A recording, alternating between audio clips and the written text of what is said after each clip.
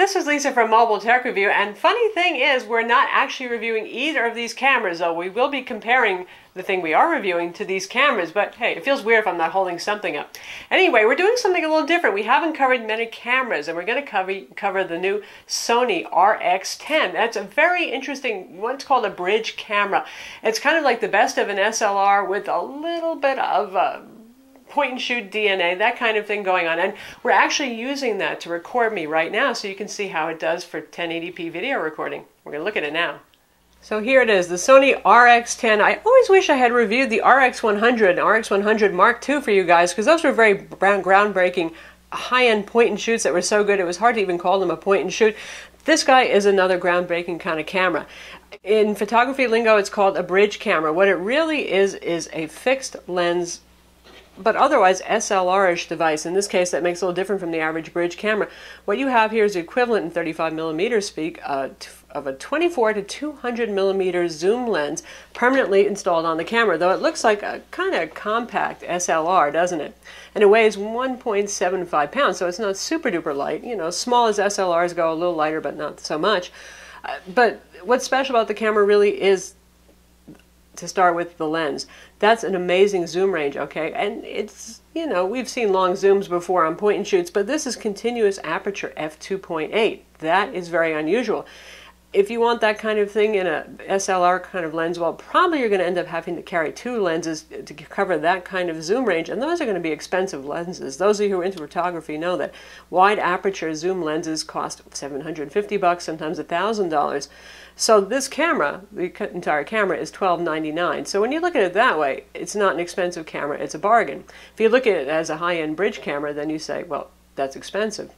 Now, there's cameras for all sorts of needs. Some of you just want a complete SLR system. You like to be able to change your lenses. You maybe have fun shopping for a new lens every Christmas, that kind of thing. Maybe you need a full frame sensor, which you're, you're getting into some serious money there and some serious photography. This guy instead uses the 1 inch sensor, same thing as on the RX100 and RX100 Mark II. That's bigger than a point and shoot sensor by far, but it is smaller than an APS-C size sensor used in most consumer digital SLRs. This has a 2.7x crop factor on it, so you get the idea, about 1.5 on an APS-C.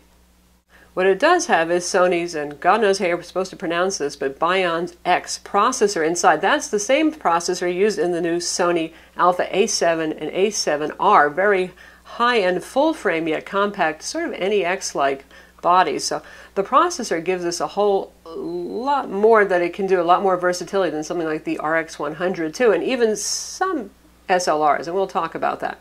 First, to give you guys an idea of size, this is the Sony NEX5. That's the, the original NEX model, the smallest. Uh, since then, the NEX6 and NEX7 have gotten bigger, so this is as compact as it gets, but it gives you the idea of the size for one of these ILC cameras and how small they can get.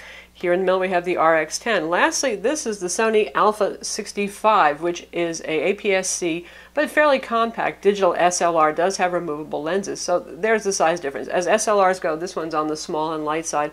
Not wildly expensive. It goes about $500 for the body now. It started out life closer to 600 and it has a plastic body.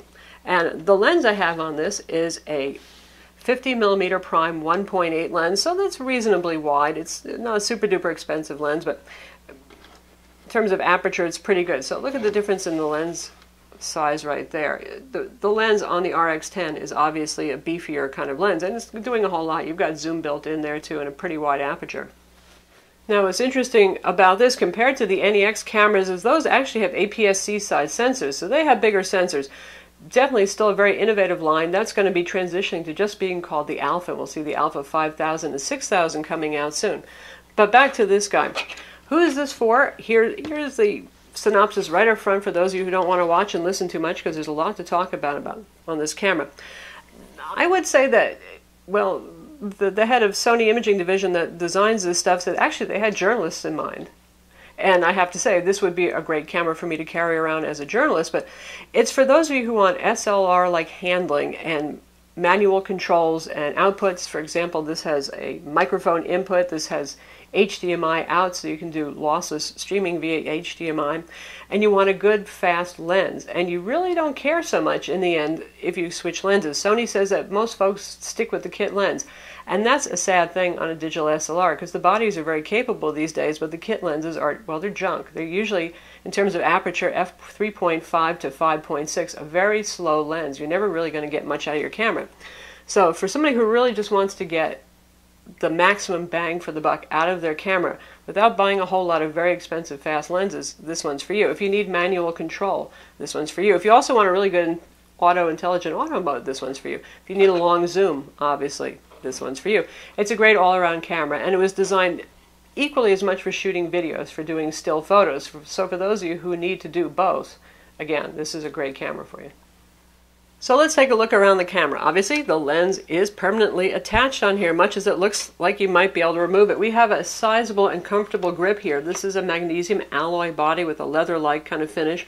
It's weather resistant, it's not weatherproof. You can't dunk it in the pool, but if it's lightly raining when you're using it, that should be okay shutter button right there. Here's an interesting thing, and this is where you can see the dual heritage for this shooting video as well as for shooting still shots. You have zoom control over here, and you can also control it on the barrel, traditionally by spinning the lens around. This is fly-by-wire zoom. It's electronic zoom, piezo controlled, and like most fly-by-wire zooms, it's not the fastest thing, and you've got to do a whole lot of turning of the barrel to zoom. That's one thing that's not too thrilling for still photographers, but video folks will like it because it ensures a very smooth and steady kind of zoom.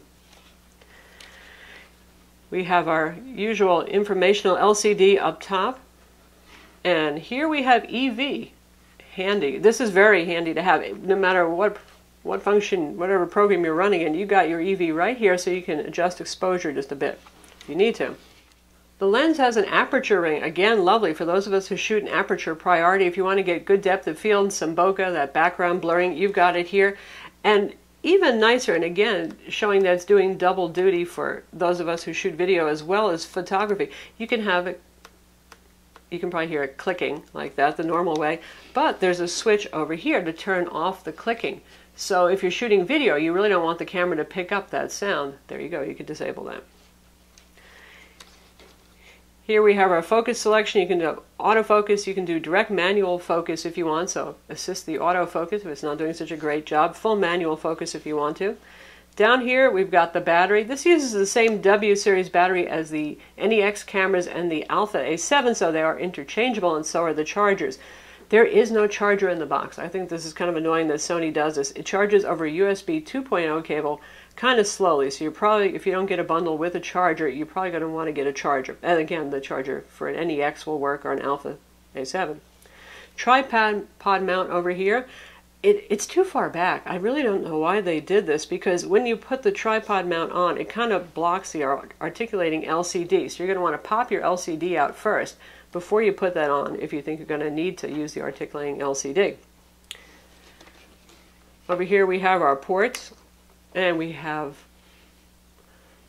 microphone and we have audio out, which is nice. Those of you who take serious videos understand the need for that.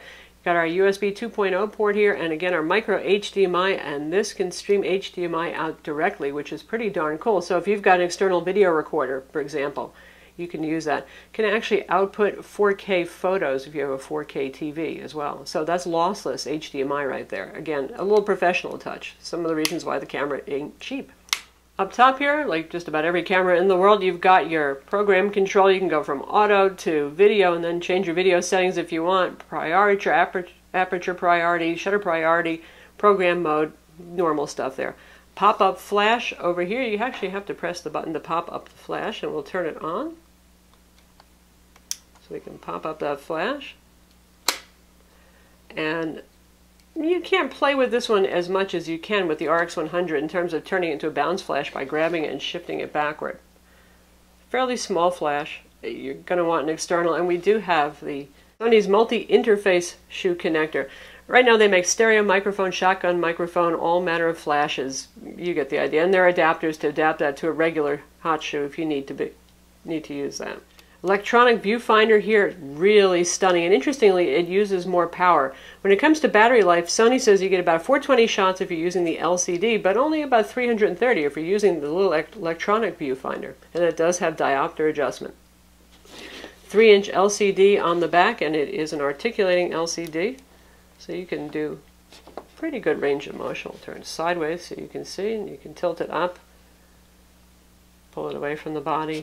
So pretty good range of motion there. Not a touch screen, folks. The rear 3-inch LCD has 100% coverage and a little over 1.2 million dots.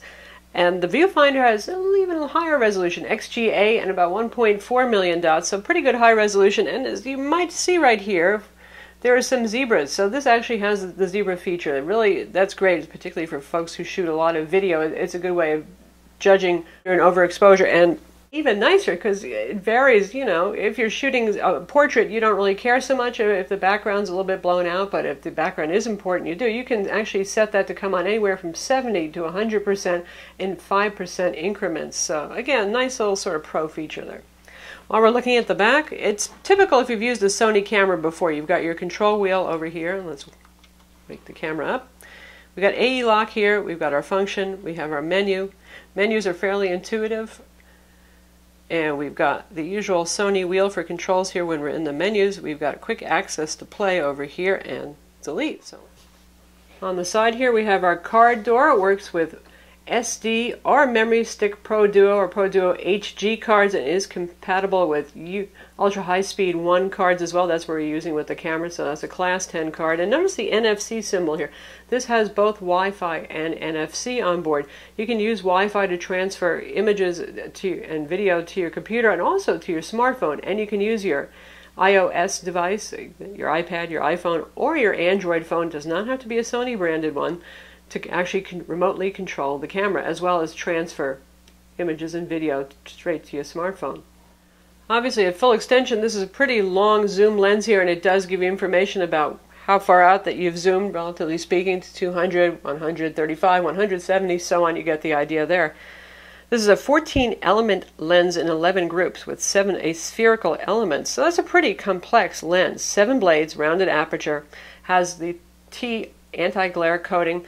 You can get pretty decent bokeh with this and pretty good macro modes. And we're going to splice in some photos, in fact, right now so you can see how it looks. A variety of set settings that we've taken here, some outdoor things, some telephoto, some zoom in, a couple of macros, low light shots, and none of these have been touched up with Photoshop at all. So this is as shot from the camera. In fact, using JPEG mode, not even using RAW mode, because honestly, the, the camera's JPEG algorithm is pretty good on this, and it compensates well for the barrel distortion of the lens. And RAW, you get a little bit more richness if you want to do that, but eh, camera does a good enough job. I think a lot of people are just going to be happy with JPEG.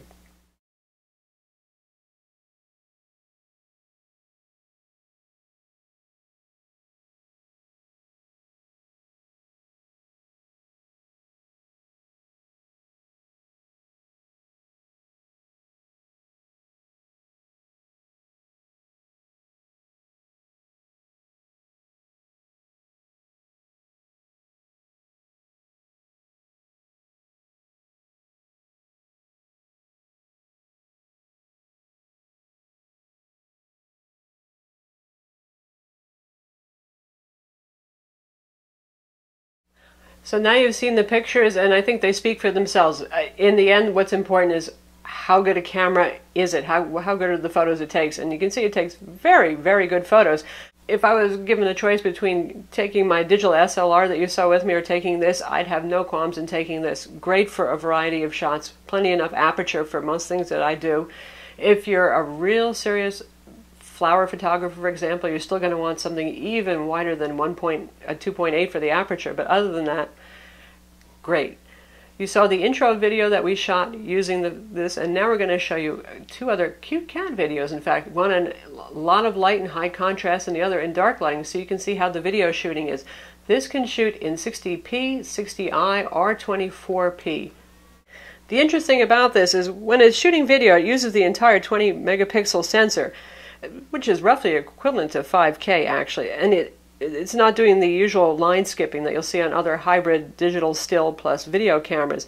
So the new processor, the Bionz X processor, makes that possible. And the idea is you get sharper footage, less moire pattern. And it does seem to do the job. It's quite sharp. And here's our cat doing what he does best, laying on his back. So this is a pretty well lit room here, but that's a very difficult setting there because we have those bars of natural light coming through on his very white belly. So I would expect to see a little zebra patterning on our viewfinder, but really it's actually handling it pretty well. So that's what a well lit cat looks like. And we'll show you the dark cat next. And here we have our cat being a little bit more active now. This was taken at night in a fairly dark room with no strobes, no nothing. And sorry, my handheld photography and videography isn't that good, but you can see I'm zooming in and out. It's maintaining focus really well. We zoom in real tight there. And also the motion when he shook his head captured it pretty well without noise. So now you've seen the sample video footage, low light, highlight, and of course the intro again was shot with this camera and you get the idea. It's also very capable and the video features on this are pretty darn good. Things like the microphone in. Oh, by the way, this also has a built-in neutral density filter so you can actually use that wide aperture in bright settings if you want better depth of field. The uncompressed HDMI out, uh, really, uh, for anybody who's semi-pro, I think this is enough to suit most people when it comes to video recording as well. Um, unless you want to go up to full frame sensor, bigger, heavier, much more expensive cameras, it's really, in a small package like this for the price, it's pretty darn impressive. So how about focusing speeds? Very quick. In low light, still quite quick, and you can see it shows you the multi-zone focusing that it's using right there. Of course, you have things like burst frame, bracketing, all of those things are here too. So let's take a look at the zoom, and we're going to use the little button on the front. So it's not that bad. But if I'm using the barrel, there's about a whole 180 degrees of turning, and there's no indication of when you're stopping and starting. That part is a little bit annoying. But in terms of shooting and focusing and actually even zooming, not so bad at all. And if you want to shoot a movie, you can just hit the movie button. That's typical for Sony. They make it very easy. And you're not limited to just auto mode. You can choose a mode right here. You can choose the video mode. You can change all of your settings by choosing the movie mode up here, which is quite nice. And lastly, you can see here, I've just hit the F1 button. That brings up a whole bunch of controls, and you can pick what which of these are here for quick access. So when you're shooting, you can make changes just like that. So say I want to change my ISO from auto to 125. It's as simple as that press the center button, and we're done. So that's the Sony DSC-RX10. Let's just call it the RX10. As I said, there's really nothing like it. Sony's been doing some amazing things with cameras, and this is kind of a first also.